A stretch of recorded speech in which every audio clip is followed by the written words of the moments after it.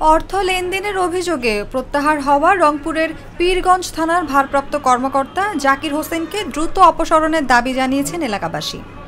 ওসির ঘুষ বাণিজ্য, ষড়যন্ত্রমূলক মামলা করে হয়রানি সহ নানা দুর্নীতির প্রতিবাদে এবং তাকে দ্রুত অপসারণের দাবিতে এই মানববন্ধন করেন তারা।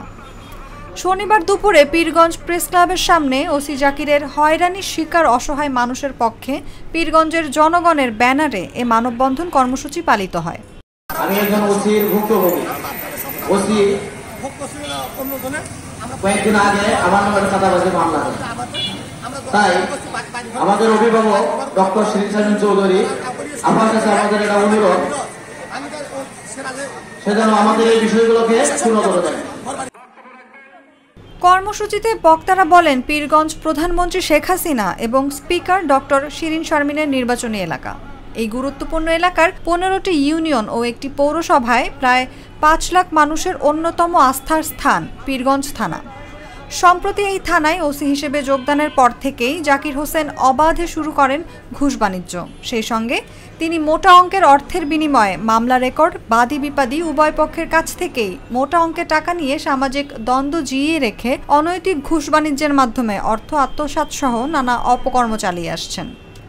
সম্প্রতি এরকম একটি ঘুষ বাণিজ্যের ভিডিও সামাজিক যোগাযোগ মাধ্যমে ভাইরাল হয়। এরপর গত চব্বিশে এপ্রিল তাকে রংপুর পুলিশ লাইনে সংযুক্ত করা হয়। কিন্তু অজ্ঞাত কারণে ওই প্রত্যাহার আদেশ পাওয়ার পরেও ওসি জাকির হোসেন স্বপদে বহাল থেকে প্রতিশোধ পরায়ণ হয়ে ষড়যন্ত্রমূলক চাঁদাবাজি মামলা দেওয়া সহ নানাভাবে অসহায় মানুষকে হয়রানি করছেন। আমার বাড়ি মদনখালী আমি খালাসপুরে ব্যবসা করি।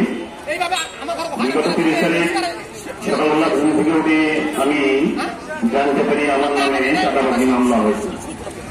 রংপুর ঢাকা মহাসড়কের ছয় লেন রাস্তার কাজে বালু দেওয়াকে কেন্দ্র করে পীরগঞ্জ থানার ভারপ্রাপ্ত কর্মকর্তা জাকির হোসেনের অর্থ লেনদেনের ভিডিও গোপনে কেউ একজন ধারণ করেন। এমন একটি ভিডিও সামাজিক যোগাযোগ মাধ্যমে ভাইরাল হয়। এরপর তাকে প্রত্যাহার করে পুলিশ লাইনে সংযুক্ত করে আদেশ জারি করা হয়। এ বিষয়ে জানতে রংপুরের পুলিশ সুপার মোহাম্মদ ফেরদৌস আলী চৌধুরীর মোবাইলে কল করা হলে তিনি ফোন রিসিভ করেননি।